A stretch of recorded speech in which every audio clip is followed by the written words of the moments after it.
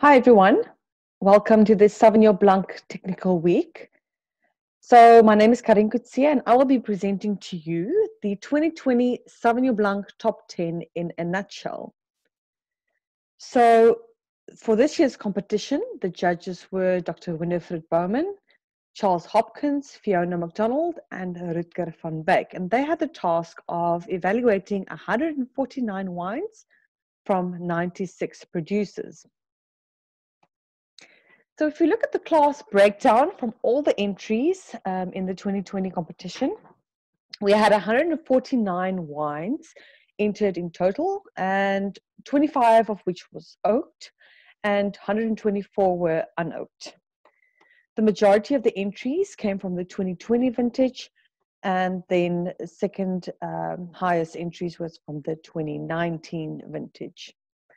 Interesting, we had four wines from the 2017 vintage that performed quite well, even to such an extent that the Highlands Road Sauvignon Blanc White Reserve even made the top 20 list. Now, I didn't get into the top 10, but I still think that's quite a um, exceptional achievement, seeing it's a 2017 wine. If we look at the oaked and the unoaked segmentation, we have 15 of the 25 wines that was entered was from the 2019 vintage. So in 2019, we actually started using tablets during the scoring and the profiling of the wines. Um, this was done in collaboration with the University of Stellenbosch and Dr. Jeanne Brand. And we asked, uh, well, in 2019, we kind of tested the tablets and the technology to see if it will work for us. And in 2020, we completely brought in the tablets and used it to score, fully score the wines and to profile the wines according to their aromatic composition. So the uh, what we did was when it came comes to the scoring and the profiling, number one, we asked the panelists to score the wines on a scale of zero to 100. But then also we asked him to indicate the style of the wine using different tick boxes showing us uh, the kind of aromatic contribution uh, or, or uh, composition of the wines. So you'll see here the options that they had. Uh, obviously, this is not an ideal situation. This is quite limiting in terms of indicating the style of the wines. It can sometimes make the wine, reduce the wine to, to look quite one dimensional. But as you can imagine, we cannot have an endless list. The judges have a huge task and, it's quite time consuming. So we had to reduce the number of attributes in the list to a, a smallest number that we possibly can to make sure that the work is, is not, um, you know, overloaded. So yeah, these were the attributes that we decided on in the end, and the judges was able for each wine to kind of tick the boxes and decide which of these attributes they felt applied to the specific wine. And they can tick as many boxes as they like for a specific wine. So let's just quickly have a, a broad overview of some of the data that we gathered from this profiling. And now this is just a graph showing us from all the entries in the competition, the frequency of the citation of the different attributes. So first of all, you'll see that the three attributes with the most citations was a tropical fruit, citrus, and stone fruit attributes, which is not surprising, being Sauvignon Blanc. It's very much in, in line with what we would have expected um, to come out from, from the wines in terms of aromatic composition. Then the second, uh, well, that was the first class, and then the, the other attributes that really stood out was the herbaceous character, of which 25 um, percent of the wines had a herbaceous, the, the judges ticked the herbaceous box. And then also the other attributes, green, mineral or flinty, and floral was also part of, of many of the wines. And then we had an oak component where they can indicate um, oak, 7% of, of the wines, um, or the, the judges indicated with 7% of the samples which had an oak component, and then also black currant.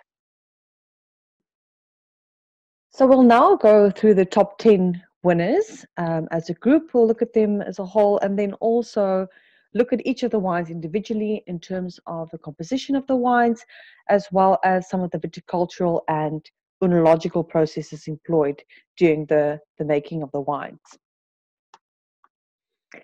So we asked the producers to give us as much information as possible regarding viticultural details, winemaking details, the chemical analysis, and we also sent samples to different laboratories for some of the aromatic analysis.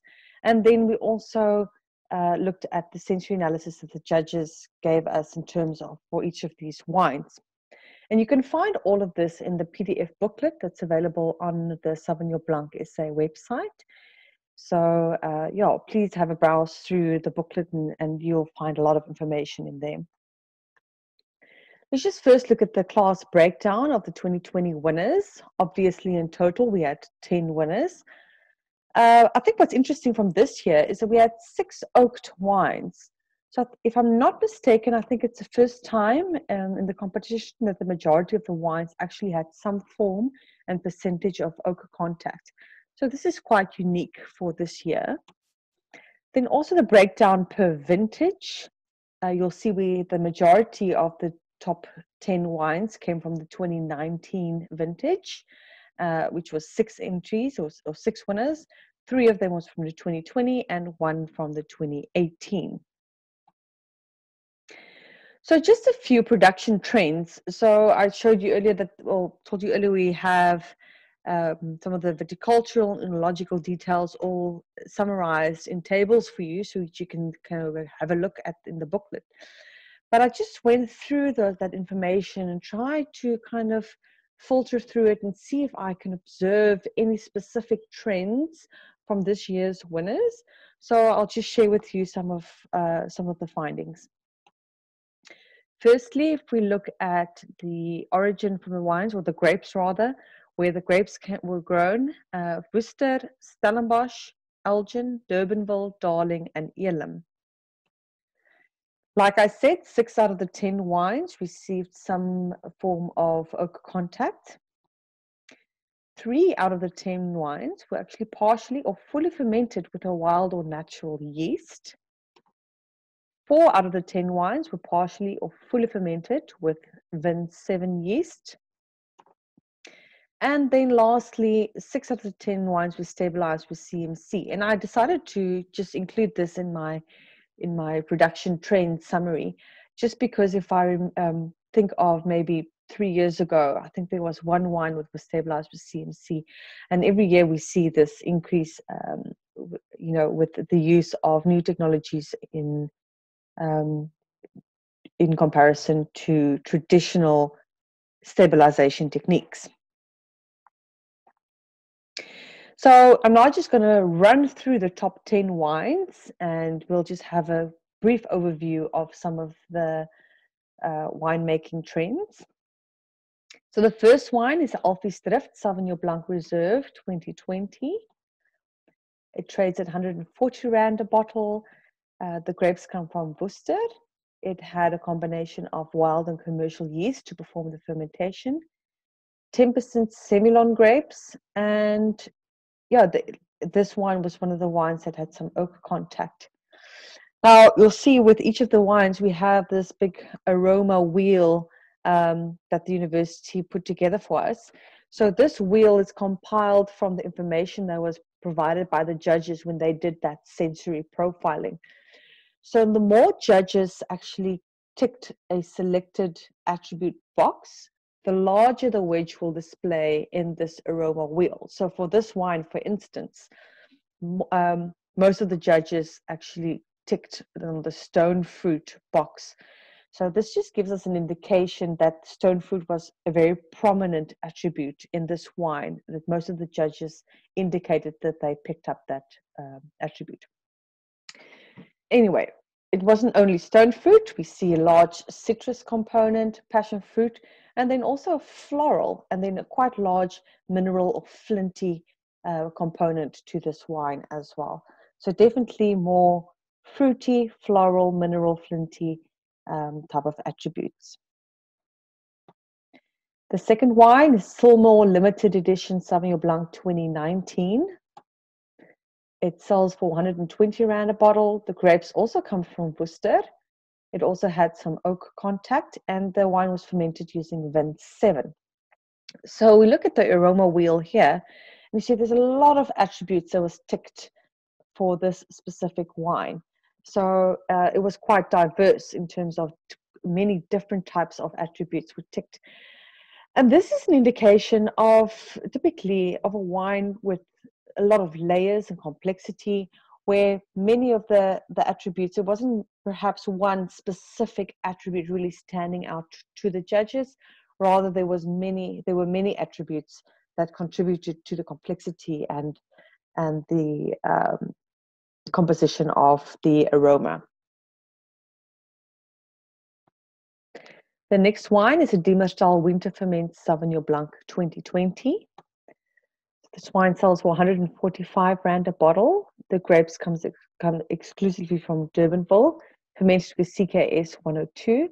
And for those that are not familiar with this wine, it is uh, the, the juice from, from this wine was frozen during harvest and it was only thawed during the winter months, after which fermentation took place, therefore the name the winter ferment. So yeah, it's a little bit of a different winemaking technique with a delayed fermentation. And you'll see that for the aromatic contribution for this wine, quite a large green component with a lot of herbaceous and greenness, large wedges showing up here. Um, I'll just elaborate on this a bit later, but you'll see also a lot of very uh, a lot of fruit characters, stone fruit, citrus, and tropical fruit also coming through in the aroma wheel.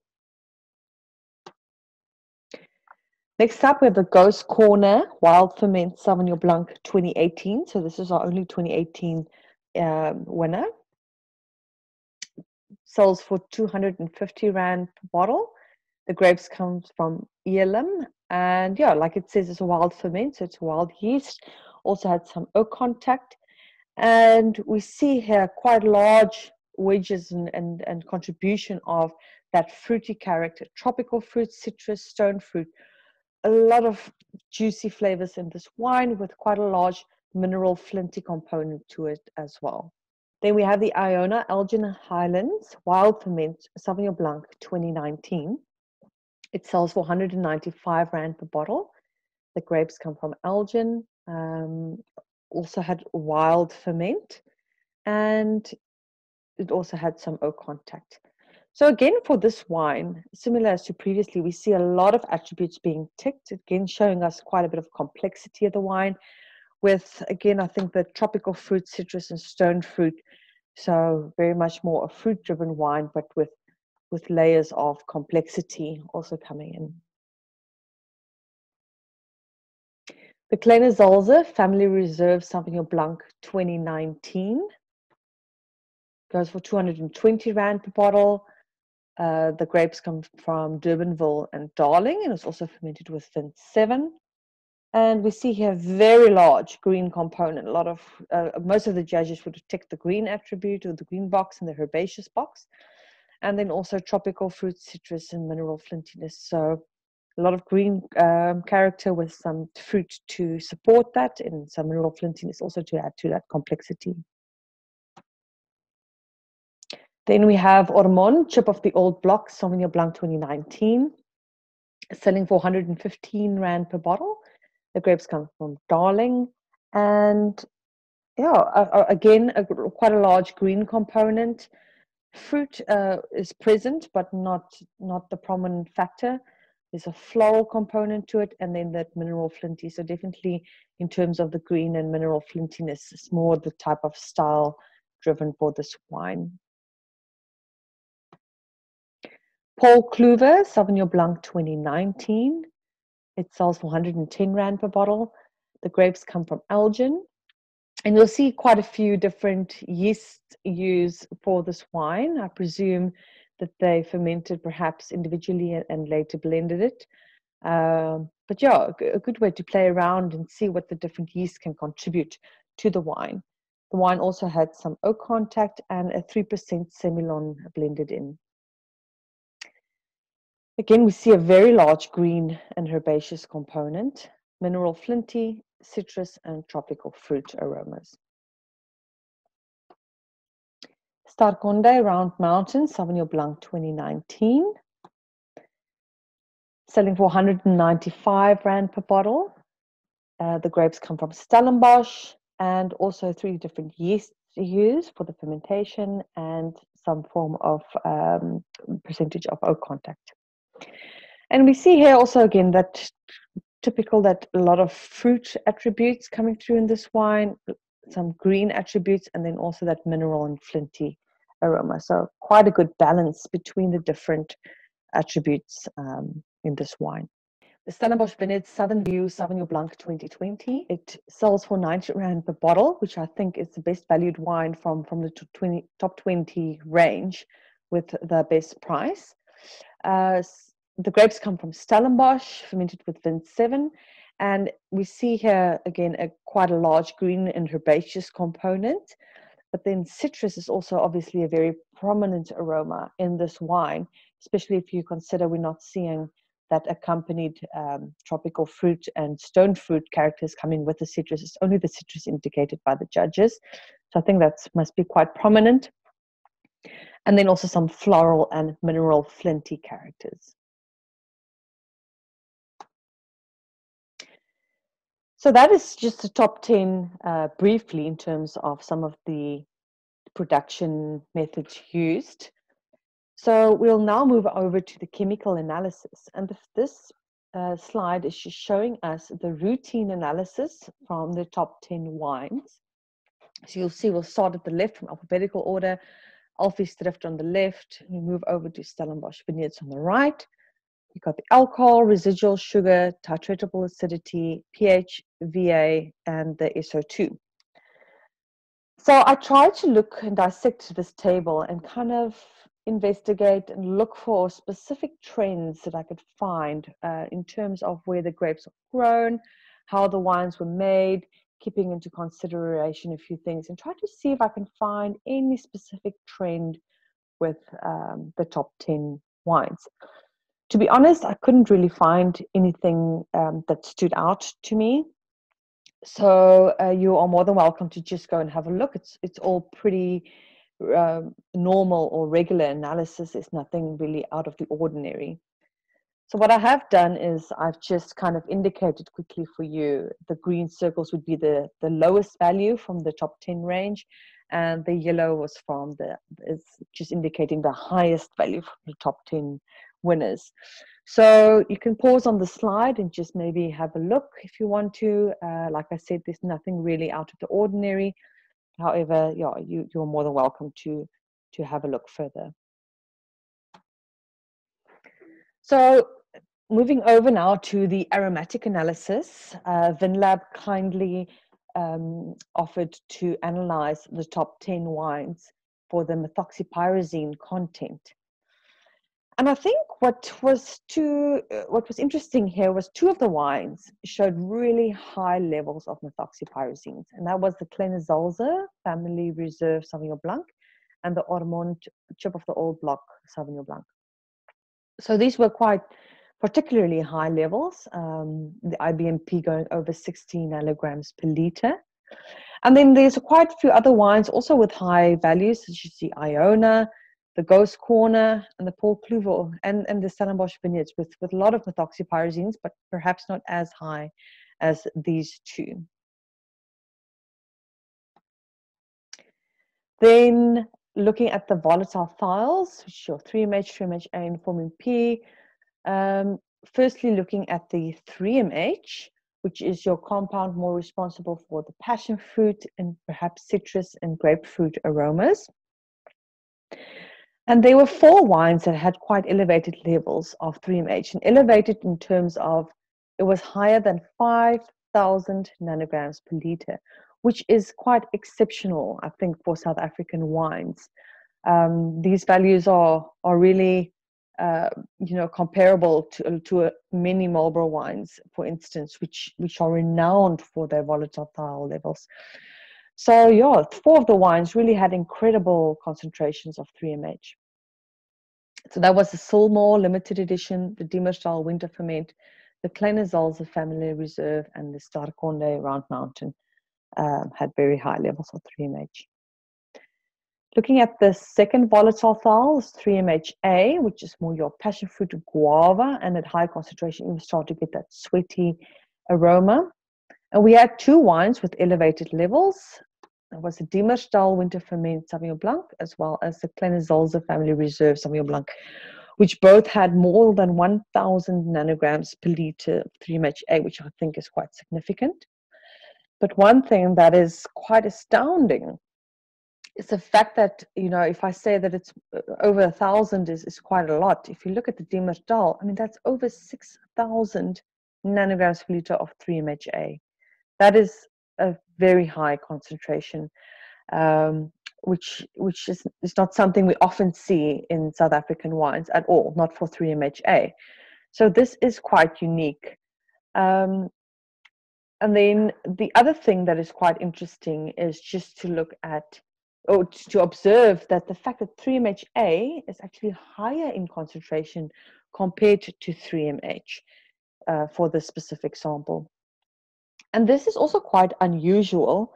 Now, I think the reason why we're seeing these kinds of results is that, first of all, the winemaking technique, I think, has a different influence on the thiols produced.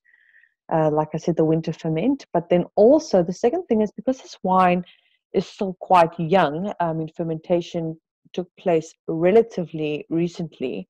Um, you know, the 3MHA concentration is still quite high in the wine.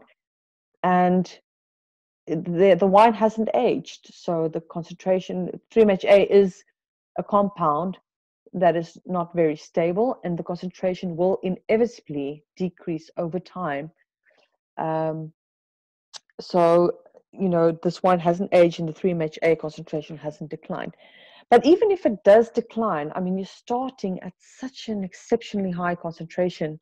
I'm uh, I'm inclined to think that this wine will will age quite well due to that um, high concentration, especially if it is stored correctly. Then the last one is a 4MMP, which is more your black currant type of aroma. So you'll see the highest concentration was um, reported for the Iona Elgin Highlands Wild Ferment with 31 nanograms per liter of 4MMP. Now, in previous years in the top 10 lists, we've seen much higher values than around 30. We've, we've, I think we've gone up to 80 or even 100 nanograms per liter, which is quite exceptional and uh, interesting result. So, to if we have to compare these results, um, I think that this year's top 20, uh, top 10 wines perhaps is not so much um, inclined to a higher 4-MMP concentration. However, these, I mean, the 31 is still a significant value, but we have seen much higher. So this table is just showing us the methoxypyrazines and the volatile thiols together. And what I want to show you was that the Zalze Family Reserve Sauvignon Blanc was listed under one of the wines with high methoxypyrazine concentrations as well as high 3MH and 3MHA concentrations.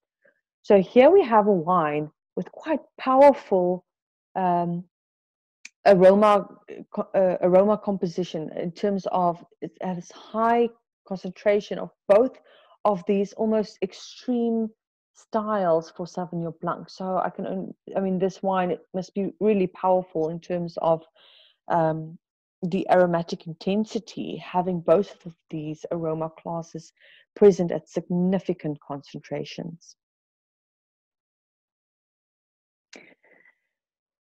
So this is, table is just showing us the top 10 wines with all of the uh, aroma attributes and just giving us a bit of an idea of the weight of the attributes for each wine. So you'll see at the top we have the Alvi's Drift again, we've got the wines listed at the top. But then on the left-hand side, we have the different attributes. So we start with tropical fruit, citrus, stone fruit, floral, mineral flinty, green, herbaceous, oak, and black currant. Now you'll see for each wine, for instance, the Alvi's Drift, you have these different dots. And that's just in the, the larger the dot is, it's just giving us an indication of the more weight that specific attribute had for this wine. So putting it all together like this, we can quickly see when uh, certain attributes were quite pronounced in a wine and, and how that would compare to the rest of the top 10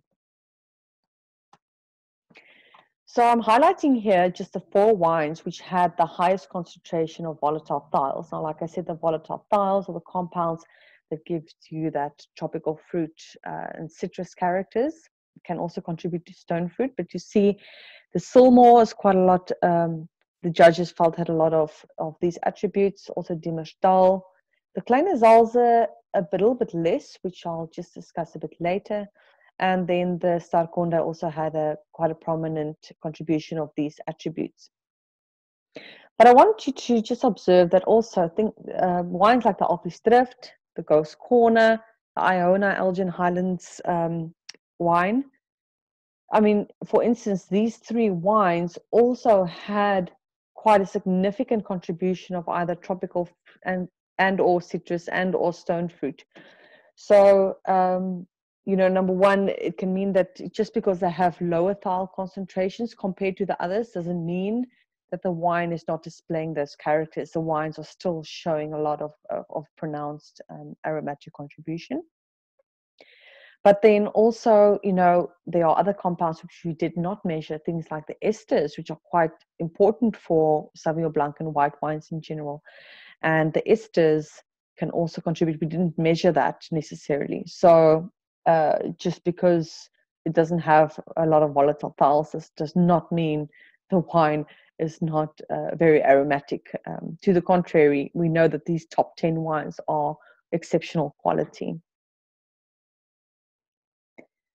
So now if we move on and we look at the methoxypyrazines, if you remember that the I said had quite a large green component, and uh, a, a, lot of methoxypyrazines present, and also the Ormonde of the old block also had a lot of methoxypyrazines. So the first thing I want to just mention here is that the Kleine Zalze, like I said um, in the previous slide, you know, had a lot of volatile thiols. It also had a lot of methoxypyrazines in there. But you see that you, you'll see that the component from the volatile thiols is perhaps not as pronounced as is the methoxypyrazines. Now, we know from research that you know there are different types of sensory interactions between these different compounds. So the presence of methoxypyrazines can be dominating over the volatile thiols um, it, and what is nice about a wine like this is having high methoxypyrazine concentration with that absolute support from the volat- from the fruity volatile thiols to give that uh, complexity and that weight to that wine. But then another thing that I just want to point out, again with the Diemersdal winter ferment, is I said earlier there was quite a large green component in terms of sensory attributes perceived. And what is interesting is that when it comes to the analysis from the Diemersdal winter ferment, there wasn't a particularly high concentration of methoxypyrazines in this wine. So can actually be a little bit surprised that we are seeing this green um, aromas coming out so prominently. Now, one of the reasons for this could be the contribution from the volatile thiols to the perception of green aromas. For instance, at very high concentrations of 3MH or 3MHA can start to smell like box tree, which is a type of um, bush. And then also another thing is uh, like the tomato leaf, which is a very specific character, which is uh, associated with volatile thiols. They essentially give that tomato leaf character. And at very high concentrations, you start to really smell specifically that tomato leaf character. But the judges will perceive that not as tropical fruit or citrus. Tomato leaf will be perceived as greenness or herbaceousness. So it doesn't necessarily mean that this greenness comes from methoxypyrazines. It can also come from the volatile thiols, which I suspect is the case in this wine. If we look at the perception of oak aromas in the wines, the judges especially pointed out the Silmore as having quite a, a oak component and the Iona with also some oak attributes. But what is interesting here is that, like I said, six out of the 10 wines actually had oak contact. But it was just those two that really stood out to the judges as having a bit of an oaky character to it. And what I like about this is, well, number one, this is obviously well integrated and, and balanced. Again, that's why they're on the top 10 list. But for the other wines, uh, I would presume that the oak is quite well integrated, seeing that it's not specifically something standing out in terms of the wine sensory composition. So, um, well integrated, clever use of oak by the winemakers and, and mindful use of oak. So that it just adds to that complexity instead of really um, being a prominent section or prominent uh, attribute to the wine. And then lastly, the black currant, like I said, the Iona, it had some black currant character, and we also see that the judges were also showing, were also indicating some um, black currant characters, which could be due to that 4-MMP present in this wine. So that's it for the 2020 Sauvignon Blanc Top 10 in a nutshell presentation. We just have to say a few thanks to all of the contributors to the Top 10 competition, as well as this technical booklet, but especially a big thank you to WineTech, to Karina Kennedy, who helped put this booklet together and, um, you know, being able to get this information and getting all this technical information and the sensory analysis and the chemical analysis and everything through to the producers so that you guys can use this information um, for to, to keep on producing quality Sauvignon Blanc wines. From my side, I thank you, and you are more than welcome to contact me. If you have any questions, carien at basicwine.co.za. Um, any questions on the top 10 or any other Sauvignon Blanc related questions, more than welcome. Thank you.